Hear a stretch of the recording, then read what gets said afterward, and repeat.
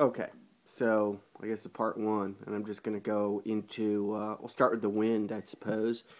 Um, this obviously, the system is still a major work in progress, but at least I've got something up and running right now, and um, the rest will be fun just to add components. Um, and of course, this stuff is super addicting.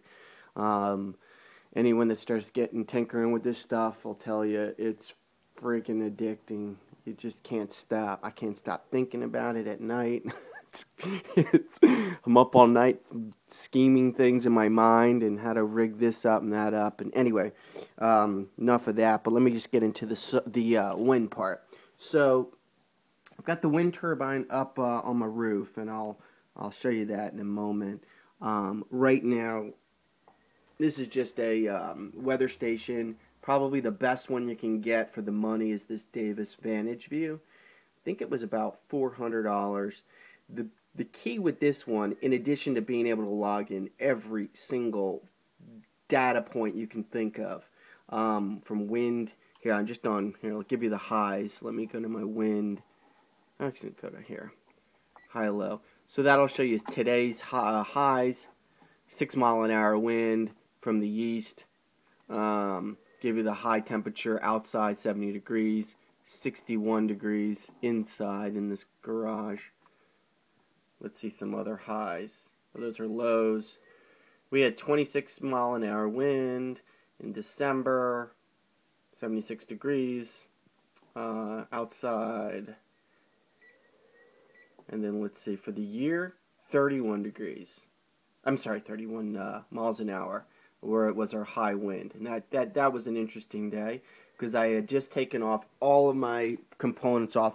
I was building this, this box to hide all my wires, and uh, wind was cranking 31 miles an hour, and um, my turbine was free spinning, uh, freewheeling, which is not a good thing. Can damage your um, alternator, your PMA. So anyway, I'll get more into that later. So first component in any wind system is you really need a good high um, um, speed, I would say, um, weather station.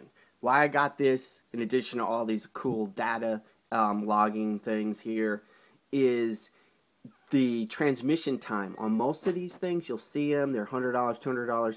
You read into it deeper, you find out that it takes 30 seconds or 20 seconds or 15 seconds for the data to be transmitted to here. So if you're trying to compare your amps that your wind generator's creating um, to the wind, you, it's not working. I mean, you're going to have a 30 second, 20 second delay. It's pointless.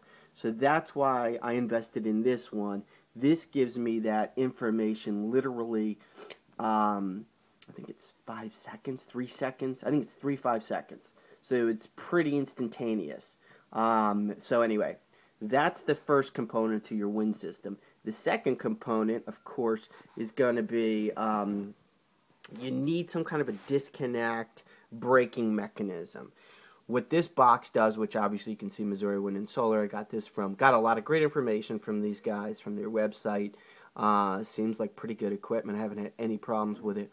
Um, anyway, what this does is you rig your uh, your your turbine, your three phase. In this case, I I went three phase, three phase wire to this box.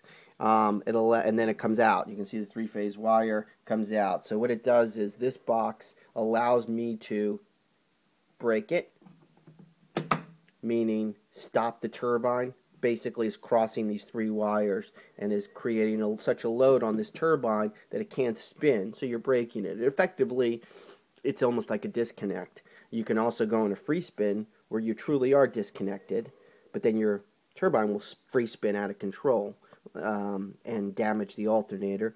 Um, or you can leave it on, which is obviously the goal, um, and you can generate power. Um, then it comes from the three phase. I'm going to start a new video.